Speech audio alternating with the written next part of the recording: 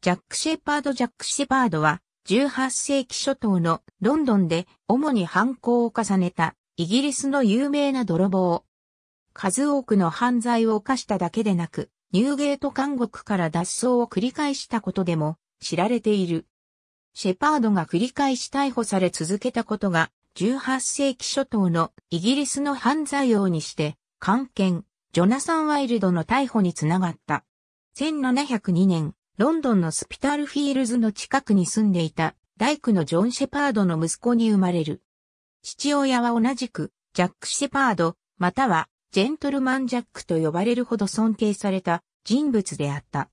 息子のジャック・シャパードがまだ幼い頃に父は死亡し、シェパードは大工見習いとして働き、後に父と同じように大工として独り立ちする。しかし、すぐに町の不良や悪道と付き合い始め、空き巣や窃盗を繰り返し、収入の足しにするようになった。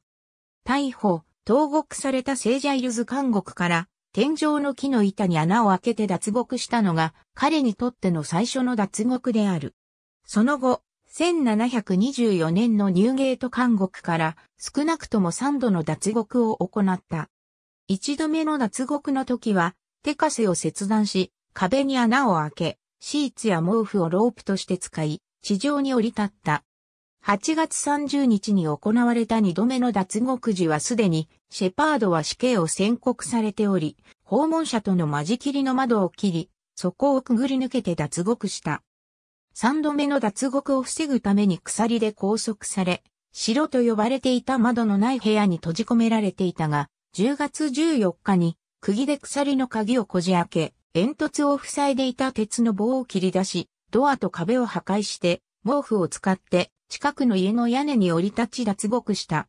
三度目の脱獄からたった2週間後に再逮捕されるが、シェパードは最後の脱走を企てた。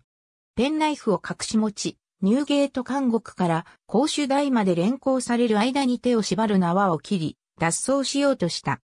しかし、連れ出される前に看守がペンナイフを発見したため失敗に終わった。